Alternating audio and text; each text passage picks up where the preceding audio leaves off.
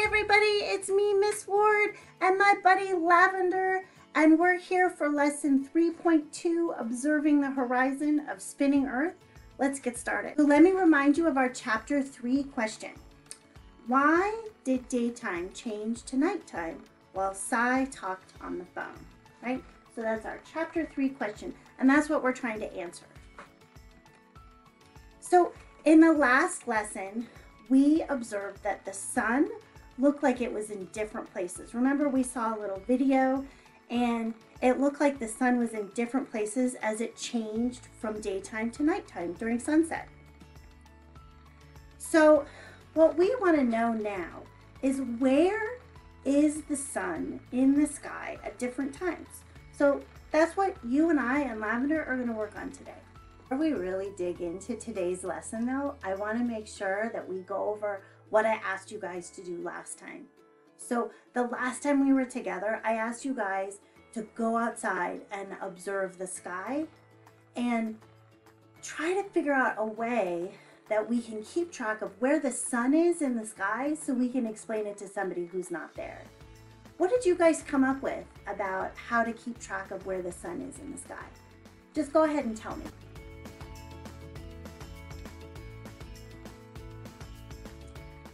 I hear a lot of really good answers. So I want to remind you of something that we talked about last time too. So let's look at our picture of Seattle here. So I added this because I want to remind you guys about what we talked about, about the special line where it looks like the sky meets the earth. Do you guys remember what we called that special line? So if you look at my picture here of Seattle, do you see how there's sort of a line? You could imagine a line where the sky meets the earth. Do you remember what we called that? Yeah, I hear some of you guys saying that. It's the horizon. And I have that up on my word wall too here, horizon. And we're going to use the horizon to help us figure out about how to keep track of where the sun is in the sky. So Let's look at that big photo that shows what the sky looked like for Cy when he started talking to his grandma on the phone. And we'll talk about what you observe on the horizon, right?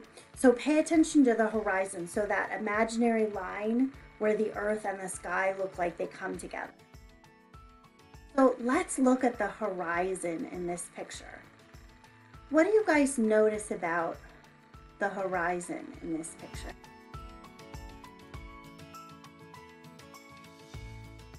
Okay, so how would you describe where the sun is in the sky in this picture?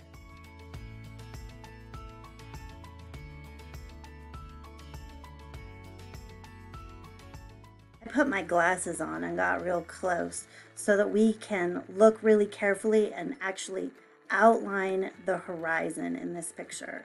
So here I'm going over these kind of little bushes far away.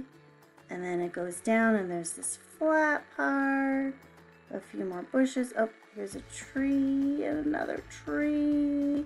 So I'm just outlining the horizon. Oh, I bet you guys could do a way better job than me. There we go. I'm doing my best. I'm doing my best. Oh, look, that's a tall tree. And I go down.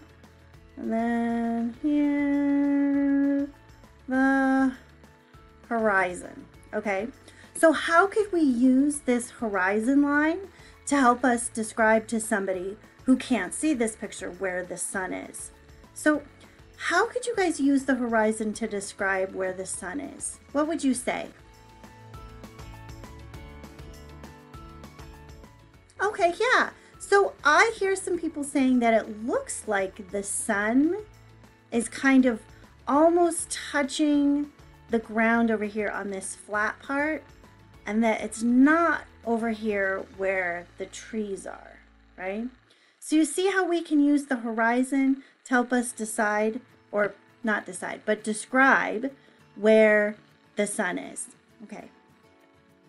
Now that we've had a little practice using the horizon to talk about where the sun is, um, let's do some more observing of the horizon. So we're going to create a sky mural to help us keep track of where the sun is in the sky. Okay.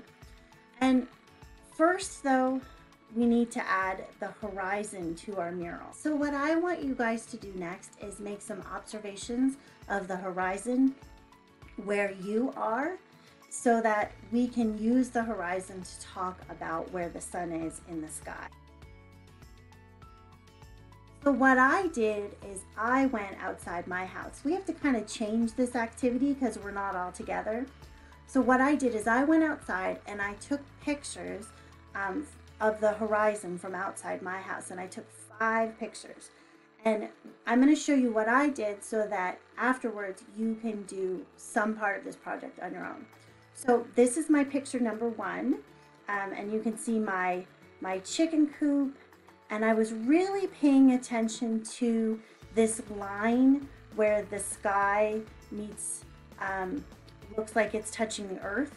And then I decided what was important to draw, and then this is what I decided was important to draw. Um, so I drew the chicken coop because I decided that was important, and that tall tree, and that sort of bushy tree. So that's what I decided to draw. And then this is my picture number two. And when I looked at this picture, well, let me listen to you. What do you guys notice about the horizon in this picture?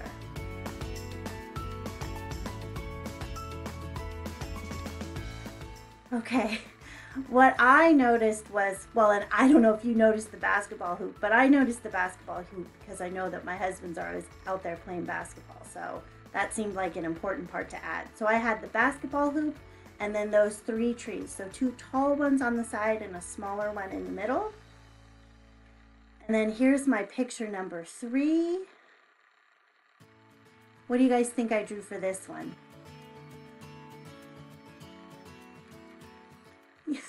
okay, so I drew two really tall trees. As a matter of fact, when I um, made this picture for my mural, I made those tall trees even taller by adding an extra piece of paper and then there's the mountains in the background. You can't really see them too well in this picture because it was such a cloudy day, but I knew they were there, so I drew them anyway.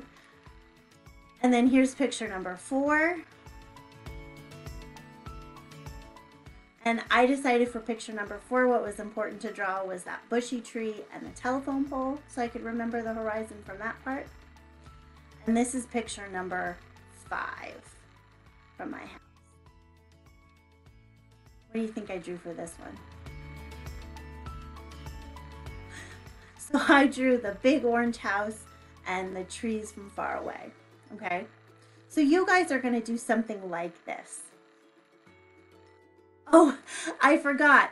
One of the things I noticed when I was out taking pictures is the door of my chicken coop. I completely forgot that I had drawn a horizon on my chicken coop. And because I'm already talking about the chicken coop, I wanted to share something with you guys. Hold on a second. You guys ready? Look at this. I have three baby chicks. Do you see them? Aren't they the cutest? I thought that would make you smile.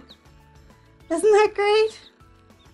Doesn't have anything to do with our lesson, but I wanted to share it with you anyway. Thanks for letting me share my chicks with you. Um, let me talk to you a little bit about how you guys are going to be a part of making observations about the horizon. So you have some choices. So one is you can get an adult's help to look outside and make some observations about the horizon just like I did. So you go out to a spot like where you like where you see these kids are doing and then you look and you decide what's important about the horizon and then you draw it. So that's one choice you have. If you can't really get outside to look at part of the horizon you can actually use google maps to find a picture of your horizon using your address. I did that and i was able to find a picture that looks a lot like one of the ones i went out and found. So and i just got this right off google maps so you can do that as well so you have a couple of choices on how you do that. And you also have choices on how you record your observations. So maybe you have a packet and you can record your observation on a sheet like this, or maybe you just use a blank piece of paper. I just used a blank piece of paper. I found that actually worked better than using the um, observation sheet, but it's really up to you. And then you're gonna use those observations to make a horizon on our mural. So again, we have to be flexible with this part too. So let me tell you what maybe you'll be doing and maybe you won't be doing and we'll just kind of figure it out as we go. So I made my own sky mural here with the pictures that I drew with you guys. So that's one thing that we'll have is we'll have my sky mural that we can use for the rest of the investigations. And maybe you're working on these lessons with your classroom teacher and maybe they have a great idea for how you guys can create a sky mural together. So that might be happening too. And the other choice is that you could make your own sky mural at home um, just using a, um, a paper sack. So I just used a paper sack like you get at the grocery store and you can have a grown-up cut it out for you and then you have this nice long strip and you could draw your horizon right on this, right? So you have lots of choices for how to do your own sky mural. Once you get your observations done of the horizon, you're gonna make want to make your drawings much bigger than you drew them the first time so that you can see them really clear, clearly on your sky mural. And I'll show you the one that I made, but I also want to show you that you don't even have to cut it out or, you know, have any different colors if you're just doing it on the sack. Like if you're doing it on the sack, you can just draw right on the sack yourself and, and you can end up with a really neat um, horizon sky mural yourself. But I'll show you the one I made. Just give me a second and I'll move the camera here. Here's the one that I made. And you can see that I have them numbered from the different places I looked. One, two, three, four, five. And I just took those observations that I made and I made the pictures really big. And then I just taped them right on above the numbers. And like I said before, um, you don't even have to do it that way. That way can be pretty complicated. You can just draw it right on the sack too. That also works really well, okay? Our next step is going to be to use a pen to draw a dashed line along the horizon on our sky mural so that we can really mark out Mm-hmm. our horizon. So let me show you. Do you guys see that dashed line? And I'm just to finish it up here. Let me finish up my horizon line here. I already did most of it.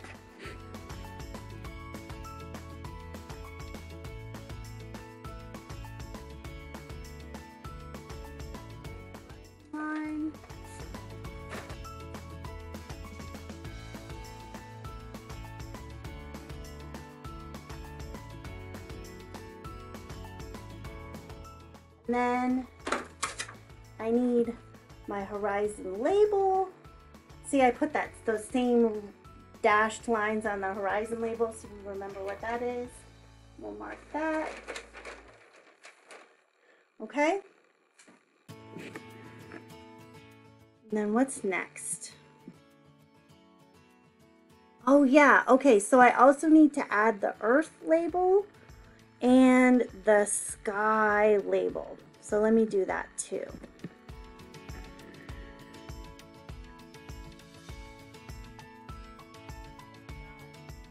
Earth label here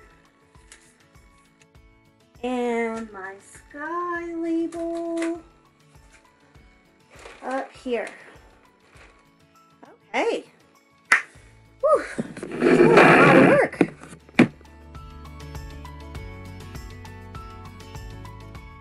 That was a lot of work.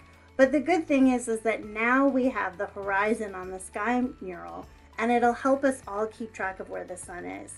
And hopefully, you guys will be able to make a sky mural yourselves, and it'll help us answer questions about where the sun is in the sky at different times. You probably noticed that we don't have the sun on our murals yet, right? And that's because that's what we're going to do next time. So here's the question I want to leave you with is how could we use our sky murals to record and keep track of where the sun is in the sky? That's what I want you guys to think about for next time. All right, I'll see you again.